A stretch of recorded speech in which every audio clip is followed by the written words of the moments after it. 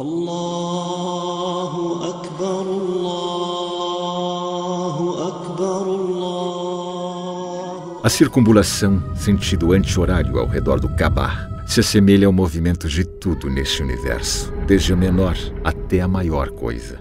Ela indica o movimento do universo. Todo o universo, desde o átomo até a galáxia, gira nessa direção. A rotação é um fenômeno universal que inclui tudo. O elétron gira em torno do núcleo. As luas orbitam seus planetas. Os planetas orbitam seus sóis. As estrelas orbitam suas galáxias. E a energia gira em seus caminhos. Todos eles giram em uma direção. Exatamente como a forma com que os peregrinos muçulmanos circumbulam o Kaaba. É um símbolo da natureza do universo que Deus criou. Circumbulação é a natureza que Deus, o único, inclusive, criou neste universo. Quando o ritmo de vida acelera, à medida que correr atrás de dinheiro, taxas de câmbio e as necessidades físicas, a alma começa a sentir fome e o humano se esquece de sua humanidade. No entanto, o indicador de necessidades não lhe dá a chance de respirar. Seu coração se tornou um pedaço de músculo para bombear o sangue. E quanto aos sentimentos, espiritualidades, o dólar esmaga tudo isso.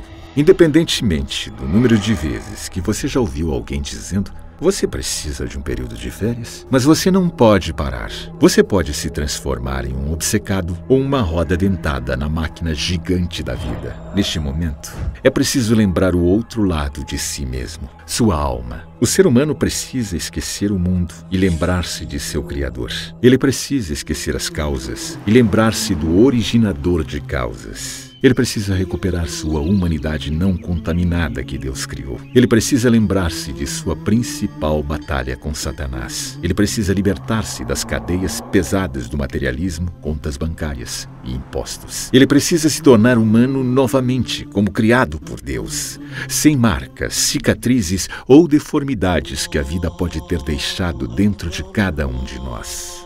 Raj é uma série de rituais simbólicos realizados por muçulmanos para responder ao comando de Deus. É uma época onde os muçulmanos se reúnem em Meca, vindo de todos os lugares da Terra.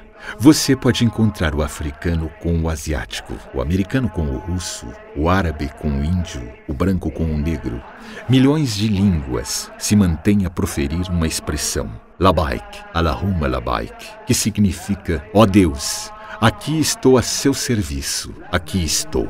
É a unidade da humanidade, sobre a bandeira do único Senhor, longe do barulho, da cobiça, luxúria e lutas. A roupa dos muçulmanos naquele dia é a expressão sincera de abandonar as distrações do mundo e dedicar-se a Deus Todo-Poderoso. É um pano branco, puro, que os seres humanos colocarão para cobrir-se sem qualquer outra coisa, como eles nasceram. Então, eles atingem o objetivo de modéstia e tiram o propósito de se gabar e mostrar-se com modas. Admissão a Deus precisa remover todos os meios de se gabar, a arrogância e os ornamentos. O que é realmente surpreendente é que o pano branco é o mesmo tipo de cobertura definido e usado por qualquer pessoa que queira dar a margem de abstinência e evitar os prazeres mundanos, mesmo pelos não muslims. Neste aspecto sublime, todos os muçulmanos se unem. Você não seria maçã para diferenciar seu príncipe do humilde trabalhador ou rico de pobres.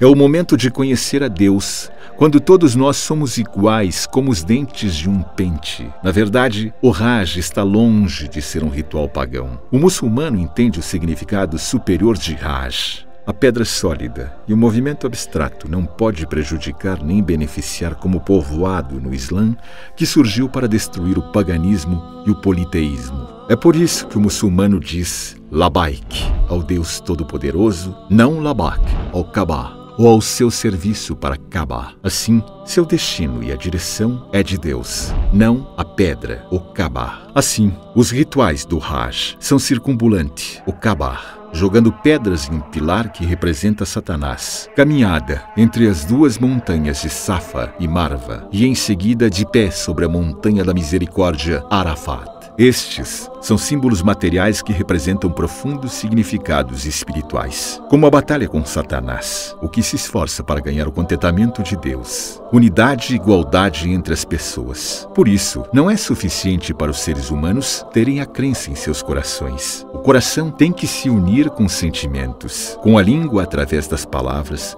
e com os órgãos por meio das ações de representar sua total submissão a Allah. É o maior encontro anual no mundo dos crentes no conceito de submissão a Allah. É o aspecto em que todos os muçulmanos são iguais, independentemente do tipo de carros que andam ou seus cargos, para que seus corações sejam purificados e seus espíritos sejam refinados. Então, se você realizar o Hajj corretamente, o ditado pelo profeta Muhammad, a paz esteja com ele, será aplicável a você quando ele disse: Quem executa Hajj para o prazer de Deus, Alá e não fazer o mal, o pecados. Então voltarei após Raj, livre de todos os pecados, como se eu fosse nascer de novo.